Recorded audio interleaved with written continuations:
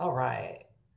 So the first question I have for you is I'd like you to tell me a little bit about your early work on the theory of racism, structural racism in particular.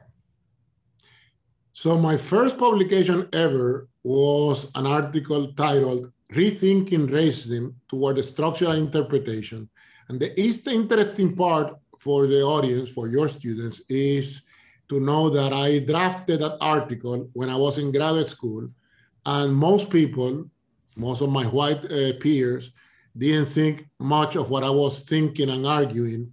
That continued when I became a professor in Michigan. So the first draft of the paper were not well received by my colleagues who thought I was wasting my time.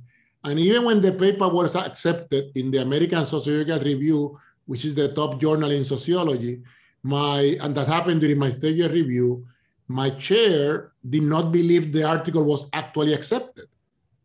So I told him, Do you want me to bring you the letter?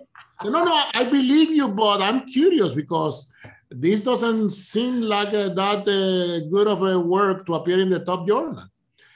So now, uh, 20 plus years later, and 2,500 citations of the paper, but who's counting? Yeah? uh, later, I think that I proved them wrong. But of course, as we're going to discuss today, when you talk about race critically, lots of folks are going to deny your argument. So I wasn't surprised uh, by their reluctance to accept my argument. Yeah, I have to give you, I got to give you props though, I'll tell you, because as a graduate student, I would think it would be very difficult. That's a difficult period of time. And to have so many people push back and not, you know, not support what you're, what you're thinking and where your work was going. And, you know, because it's easy to just sort of roll over and do what everyone else wants you to do. But you ended up producing one of the most seminal works out there in the area. And I just think it's, I, I have to give you mad props and congratulations for that because that's not an easy thing to do.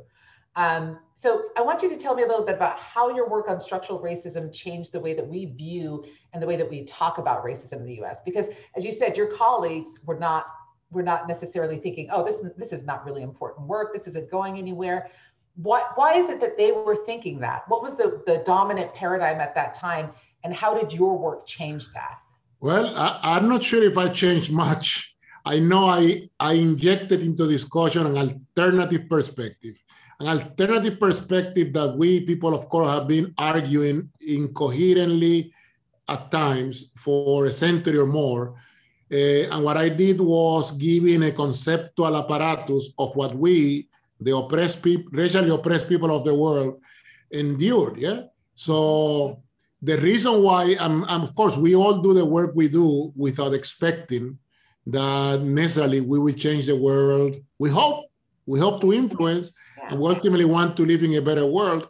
But we know that we labor, particularly those of us on the critical race uh, camp, we labor in obscurity. Our work is deemed by the mainstream as political, which is the case of death, because presumably you have to be objective. Yeah.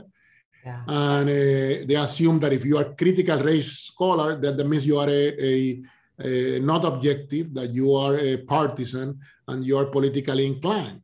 Yeah. So, okay, so that was, I already talked about the article and how that was initially not um, well received by my own colleagues and peers. Mm-hmm. But I'm happy to say that again, uh, uh, 25 years or so later, I have I'm an influencer.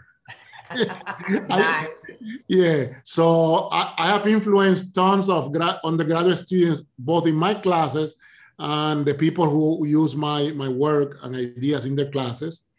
I'm also happy I have graduated 20 plus PhDs, and that counts because then the work, the critical race scholarship will continue. And through my public interventions uh, and media appearances, I have then Im- impacted a bunch of other people. So I'm happy to say that I'm an influencer on race matters in America. Nice, nice.